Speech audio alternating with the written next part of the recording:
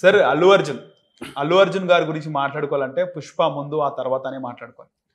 ఎందుకంటే పుష్ప సినిమా తర్వాత ఆయన రేంజ్ ఆయన స్థాయి కూడా మొత్తం మారిపోయింది. బార్డర్లు క్రాస్ చేసి అబ్రాడ్లో కూడా యుఎస్ లాంటి దేశాల్లో కూడా క్రికెటర్లు సైతం ఆయన చేసినటువంటి మేనరిజం కానీ ఆయన సాంగ్స్ని ఫాలో అవుతూ వస్తున్నారు.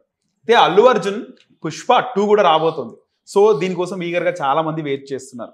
అలాగే రీసెంట్గా ఆయనకు GQ man of the year award కూడా ప్రకటించింది ఆ మ్యాగజైన్. ఎలా చూడొచ్చు దీన్ని? ఫస్ట్ నేను ఇది పుష్పకి ముందు పుష్ప తర్వాత అల్లు అర్జున్ అనేది ఒప్పుకోను. ఎందుకంటే పుష్పకి ముందు కూడా అల్లు అర్జున్ స్టారే. కాకపోతే ఆ స్టార్ ట్యాగ్ మారింది అంతే. ఇప్పటివరకు స్టైలిష్ స్టార్ అని ఇంకేదో స్టార్ అని పిలిచేవాళ్ళు. ఐకాన్ స్టార్ అయ్యింది. కాకపోతే అంతకుముందు పాన్ ఇండియా స్టారే. ఎలా? పరోక్షంగా. ఇప్పుడు ఆయన సినిమాలు ఇక్కడ రిలీజ్ అవుతాయా?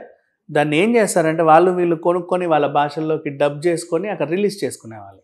అలా మలయాళంలో ఆయనకున్న ఫ్యాన్ బేస్ విపరీతం. మామూలుగా అక్కడ హీరోలతో సమానం వాళ్ళ హీరోలతో సమానమైన సమానం కాకపోతే ఇంకా ఒక పెసర ఎంత ఎక్కువే అనుకో. ఆ మాత్రం క్రేజ్ ఈయన సినిమాలు మళ్ళీ అవి తీసి యూట్యూబ్లలోనూ అక్కడిక్కడ బాలీవుడ్లో రిలీజ్ చేస్తే మళ్ళీ అక్కడ మిలియన్స్ మిలియన్స్ మిలియన్స్ అందరూ చూస్తున్నారు. సో అంతకుముందు పరోక్షంగా అంటే అనుకోలేదు. అంటే ఇట్లా పుష్పలాగా రిలీజ్ చేద్దామని అనుకోకుండా వచ్చిన pan star pan India star. ఇప్పుడు అనుకున్న స్టార్. కాబట్టి కొంచెం ఆ ప్యాన్ ఇండియా లెవెల్కి వచ్చిన తర్వాత ఆ స్టార్ ఇమేజ్ని కొంచెం బాగా పెట్టుకోవాలని చెప్పేసి ఐకాన్ స్టార్ అని పెట్టారు. ఇది పక్కన పెట్టేస్తే ప్యాన్ ఇండియా లెవెల్లో స్టార్ ఇమేజ్ సాధించిన తొలి హీరో మాత్రం అల్లు అర్జునే. అంటే ఇంతకుముందు ప్యాన్ ఇండియా స్టార్. ఇంత తెలుగులో మన ప్రాంతీయ భాషల్లో ఎన్ని స్టార్లు ఎవరికైనా ఎలాగైనా ఇచ్చుకుంటాం. అవును. అంతే కదా. ఇప్పుడు సంపూర్ణేష్ బాబు కూడా బర్నింగ్ స్టార్ అన్నారు. అట్లా అండ్ నిన్న మొన్న ఎవరో ట్రోలింగ్ పిల్లోడు వస్తే ఆయనకి ఏదో ఇంకేదో స్టార్ ఇచ్చాడు. అట్లా ఒక్కొక్కరికి ఒక్కొక్క స్టార్. అందరూ స్టార్లే ఎవరు కాదంటారు కానీ పాన్ ఇండియా లెవెల్లో మాత్రం ఒక స్టార్ తెచ్చుకుంది మాత్రం ఇతనే. సో ఓవరాల్గా చెప్పాలి అంటే పుష్పకి ముందు పుష్పకి తర్వాత అనే విషయం పక్కన పెట్టేస్తే పుష్పకి ముందు ఆయన తెలుగు వాళ్ళకి ఉండి మిగతా భాషల్లోకి జస్ట్ అలా ఎలా అలా వెళ్ళి ఇలా వచ్చేవాడు. ఇప్పుడు ఏంటంటే అంతటా తెలిసిపోయాడు. ఇది మాత్రం ఒప్పుకుంటా. సరే ఇక ఈ విషయం పక్కన పెట్టేసి ఇక అరుదైన పురస్కారం ఒకటి లభించింది. అదేదో మామూలుగా అదేంటి మనం చెప్పుకోవడానికి వెళ్ళే మాకు అది వచ్చింది ఇది వచ్చింది అని అవార్డులు చెప్పుకుంటారు చూసారా? ఇటీవల కాలంలో చాలామందిని చూసాం మనం.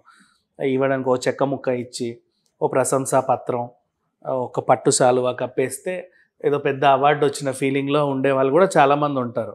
అవి పక్కన పెట్టేస్తే ఈ జీక్యూ అవార్డు గురించి చెప్పాలి అంటే ఇది ఒక ఇంటర్నా ఇంటర్నేషనల్ లెవెల్ మ్యాగజిన్ అన్ని భాషల్లోనూ ఉంది. ఎవ్రీ ఇయర్ డిసెంబర్లో వీళ్ళు అట్లా man of the year women of the year చాలా ఇక రకరకాల అవార్డ్స్ ఇస్తూ ఉంటారు. ఒక కాస్ట్యూమ్ డిజైనర్కి ఒక ర్యాంప్ వాక్ మోడల్కి ఒక ఎంటర్ప్రెన్యూర్కి చాలామందికి ఇస్తారు. ఓకే. సో ఇలా ఎన్ని అవార్డులు ఇచ్చినా కూడా వీళ్ళకంటే వీళ్ళకుండే ప్రత్యేకత వీళ్ళకు ఉంది సో ఇలా ఈ విధంగా చూసుకుంటే అండ్ సెలెక్షన్స్ కమిటీ కూడా చాలా ఇదిగా ఉంటుంది అండ్ పర్ఫెక్ట్గా ఉంటుంది.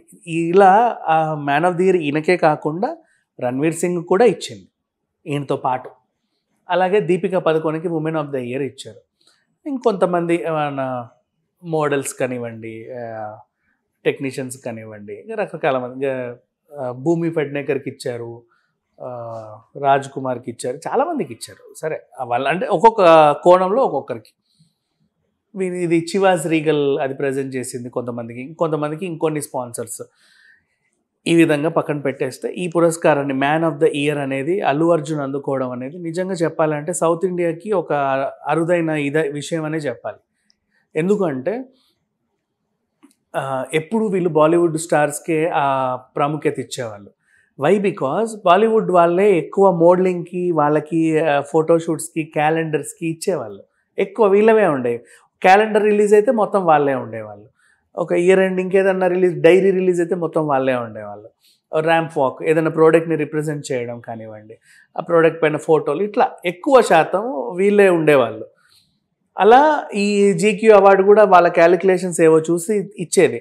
ఇప్పుడు అల్లు అర్జున్ విషయానికి వస్తే ఎందుకు ఇచ్చిందంటే ఓవరాల్గా ఇది కమర్షియల్గా పుష్ప తర్వాత ఇందాకన్నా కదా పుష్ప అవును ముందు పుష్ప తర్వాత అని. పుష్ప తర్వాత ఇప్పుడు అల్లు అర్జున్ చేసే బ్రాండ్స్ ఏవైతే ఉన్నాయో అవి నేషనల్ వైజ్గా రిలీజ్ అవుతున్నాయి. ఓకే. అంటే ఇంతకుముందు ఏ స్టార్ అయినా సరే ఒక ప్రోడక్ట్ని తెలుగులో రిప్రజెంట్ చేస్తే మళ్ళీ మలయాళంలో ఆ సబ్బు పట్టుకొని అక్కడ హీరో ఉంటాడు. అక్కడ స్టార్. సేమ్ అదే యాడ్ అలాగే ఉంటుంది. మళ్ళీ తమిళకి వెళ్తే అదే సబ్ అలాగే ఉంటుంది ఇక్కడ ఇంకో హీరో మారుతాడు. అదే కన్నడకి వెళ్తే ఆ సబ్ అలాగే ఉంటుంది అక్కడ ఇంకో హీరో. హిందీకి వెళ్తే అక్కడ. ఇట్లా ప్రాంతీయాలకి ఉండేవాళ్ళు. ఇప్పుడు ఏంటంటే ఆ సబ్బుని అల్లు అర్జున్ పట్టుకున్నాడు అనుకో ఫర్ ఎగ్జాంపుల్. అదే ఆయనతోనే తమిళ్ళోను ఆయనతోనే మలయాళంలోను ఆయనతోనే హిందీలోను ఆయనతోనే తెలుగులో రిలీజ్ చేస్తున్నారే తప్ప మళ్ళీ ఆ ముఖాన్ని మార్చి ఇంకొకరిని పెట్టట్లా. ఎందుకు అంటే ఆ అరుదైన గౌరవం ఈయనకే దక్కింది. ఇండియా లెవెల్లో ఆయన అన్ని రాష్ట్రాలకి తెలుసు. మళ్ళీ ఇక్కడికి వచ్చి మనం ఇంకొక మార్చాల్సిన అవసరం లేదు అని. ఇంతకు ముందు చూసుకుంటే ఇప్పుడు థమ్స్అప్ యాడ్ ఫర్ ఎగ్జాంపుల్ ఇక్కడ చిరంజీవి గారు చేస్తే అక్కడ సల్మాన్ ఖాన్ గారు చేసేవారు అర్థమైందా? కొన్ని కొన్ని ఇంతే ఇలా. ఏ యాడ్ అయినా సరే ఇక్కడ ఒకరు అక్కడ ఒకరు ఇక్కడ ఒకరు అక్కడ ఒకరు అట్లా అట్లా ఉండేవి. అంటే వీళ్ళు కేవలం ఆ, రాష్ట్ర ప్రజలకు మాత్రమే తెలుసు వాళ్ళు మాత్రమే ఆ, ప్రోడక్ట్ మీద కొంచెం అవగాహన అంటే కల్పిస్తారు. ఓకే. కొంచెం ఆ, బ్రాండ్ని ప్రమోషన్లో బాగా చేయొచ్చు. మిగతా ఇప్పుడు మలయాళంకి వెళ్తే అదేదో మమ్ముట్టి గారికి ఇవ్వచ్చు. లేకపోతే ఇంకో ఇంకో దగ్గరికి వెళ్తే ఇంకొకరికి ఇవ్వచ్చు. కన్నడకి వెళ్తే ఇంకొకరికి. ఇట్లా రకరకాలుగా ఒక్కో భాషలో ఒక్కొక్కరు ప్రతిబింబించేవాళ్ళు. ఈవెన్ మనం ఇప్పుడు బిగ్ బాస్ షో కూడా చూస్తున్నాం. ఒక్కొక్క దాంట్లో ఒక్కొక్క రిప్రజెంటేటివ్. కౌన్ బనే కరోడ్పతి చూసుకున్నా. ఒక్కో లాంగ్వేజ్లో ఒక్కొక్క రిప్రజెంటేటివ్.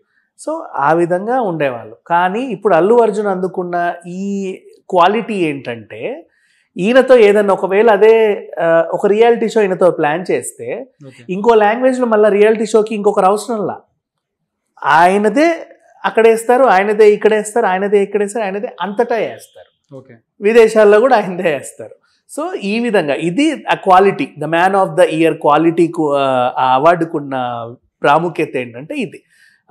కమర్షియల్గా చూసుకుంటే ఈయన విలువ దేశమంతా పాకింది కాబట్టి మిగతా వాళ్ళతో పోలిస్తే అంటే ఇటీవల ఈ రీసెంట్ టైమ్స్లో ఎవ్రీ ఇయర్ వీళ్ళు క్యాల్కులేట్ చేస్తారు కదా ఈ రీసెంట్ టైంలో అలా రణవీర్ సింగ్ ఎందుకు అయ్యాడు అంటే ఆయన కూడా ఇప్పుడు రక పాన్ ఇండియా లెవెల్లో యాడ్స్ చేస్తున్నాడు. అండ్ మొన్న న్యూడ్ ఫోటో ఒకటి పెట్టారు బాగా వైరల్ అయ్యింది.